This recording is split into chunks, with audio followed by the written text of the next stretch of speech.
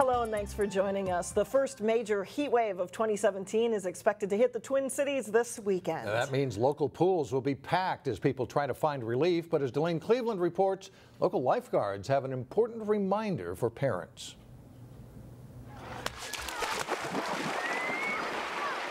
Anytime it gets warm, we get kind of packed.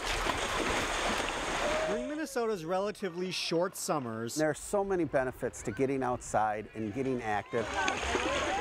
it doesn't take much to convince people to get out of the house and head for the beach. Winters are so long here in Minnesota that when we finally get beautiful, sunny, hot weather, it just gets everybody outside and active.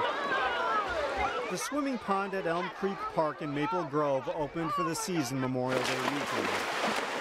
And for many families, it's already the place to go to pass the time. Um, it's family friendly and it's really easy to keep an eye on her. I think it's a lot safer and cleaner than if you go to a regular lake or beach. Georgie Peerbolte brought her three granddaughters here to celebrate the end of the school year. I could swim before I could walk.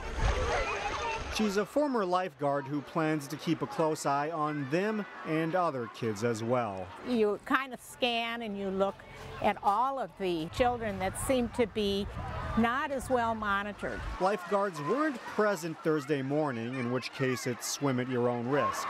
But even when lifeguards are on duty, safety is a shared responsibility. Lifeguards are not a babysitter. You are still responsible for watching your child. The lifeguard is really a first responder. In other words, parents and adults need to limit distractions such as books and smartphones. It's one of the messages officials from the Three Rivers Park District want to spread as the summer kicks off. When people think of drowning, they think of the movies where the person is thrashing about and hollering and screaming, help me, help me, I'm drowning.